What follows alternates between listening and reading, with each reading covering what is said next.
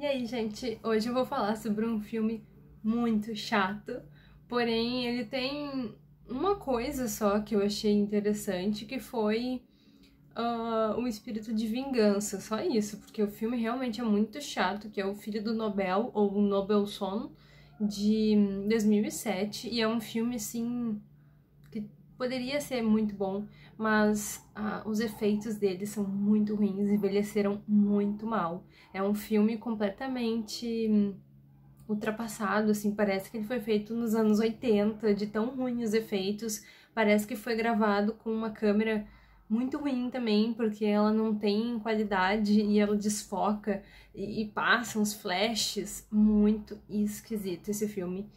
Mas no fim, eu tô numa vibe assim de ver filmes por atores, então eu tô vendo vários filmes do Alan Rickman e ele tá nesse filme e eu tinha ouvido falar que era bom e tal, e tem o Danny DeVito também, mas é bem ruim. Realmente, sim, é um filme muito chato.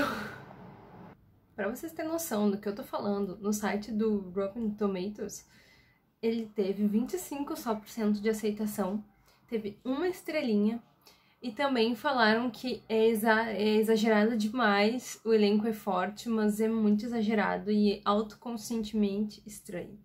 Então, é um filme que trata de um professor de química, que é o Alan Rickman, muito nojento, asqueroso, fica com as alunas, trai a mulher dele, odeia o filho dele, uma pessoa muito ruim, e ganha um Nobel.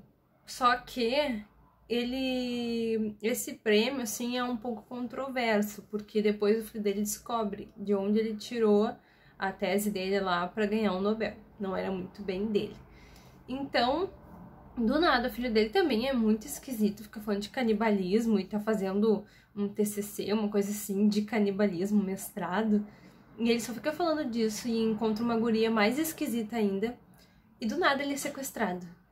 E quando descobrem quem é o sequestrador, descobrem que o Alan Rickman teve um filho fora do casamento e com melhor, a mulher do melhor amigo, e aí o cara é completamente louco e quer vingança pela mãe não sei o que, porque ele não quis criar ele. Então é muito esquisito esse filme, ele não tem nem pé nem cabeça e é uns flash, umas coisas assim, um sangue, nada a ver. Realmente, esse é um filme muito ruim. Mas para quem quiser assistir, tá disponível na Amazon Prime.